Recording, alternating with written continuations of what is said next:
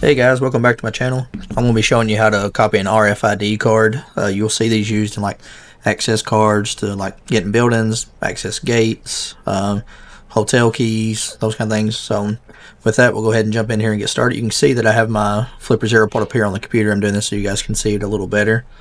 But with that, we'll go ahead and jump right in. So either on your interface on the computer or on the Flipper Zero itself, you're going to go into the menu we're going to go to the 125 gigahertz.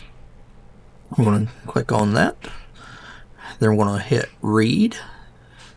You're going to see that it's ready. I'm going to go ahead and set my RFID card here. Then I'm going to set my Flipper Zero on top of it.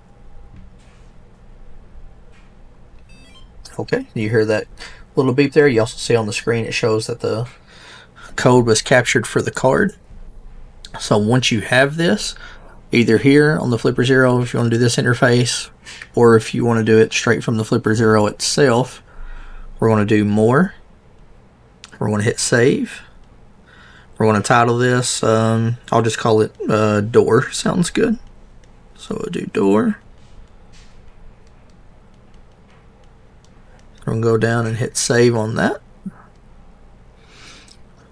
Okay, once that is saved, you can click the middle button here of your flipper, either here or on the Flipper Zero itself. You'll see that it has door. We'll click on that. We're going to hit emulate. And now it's emulating the door. And here's a video of it being used on an actual building.